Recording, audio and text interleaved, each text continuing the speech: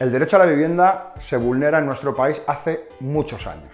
Primero fue con la burbuja hipotecaria y ahora con el alquiler de las viviendas. Lo vemos a diario, gente que no puede vivir en sus barrios, familias desahuciadas por las subidas de alquiler en viviendas de protección oficial o los afectados por la turistificación. Pero esta problemática tiene responsables, bancos, políticos cómplices y principalmente los fondos buitre. Se denomina fondo buitre a asociaciones de especuladores internacionales que no pagan prácticamente impuestos y que están empujando el mercado de la vivienda hacia una especulación más que inmoral.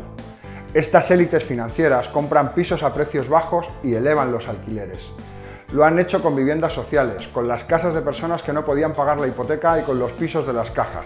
Y todo ello bajo el amparo de políticos que han legislado a favor de la desregulación, del precio de la vivienda y favoreciendo que no paguen prácticamente impuestos. Estos fondos buitre tienen nombres y apellidos. Blackstone, Cerberus, Apollo o Goldman Sachs. Blackstone, por ejemplo, es el segundo grupo hotelero y la primera inmobiliaria del país. Los inversores que están detrás de estos fondos son opacos y muchos manejan sus inversiones desde paraísos fiscales. ¿Cómo funcionan estos fondos? Gracias a sociedades ubicadas en paraísos fiscales, Blackstone saca el dinero de España, lo deriva a Delaware, a las Islas Caimán, a Luxemburgo o Holanda. Así, cada vez que se paga una factura a estos fondos, el dinero acaba fuera del país. No es una inversión, es un saqueo. La llegada de los buitres ha estado propiciada por los mismos que han legislado a su favor, los clanes Aznar, Aguirre o los Puyol.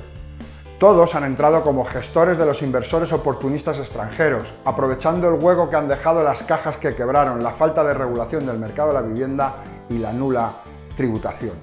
Así pueden comprar viviendas, deudas, empresas y fomentar la brecha social del país.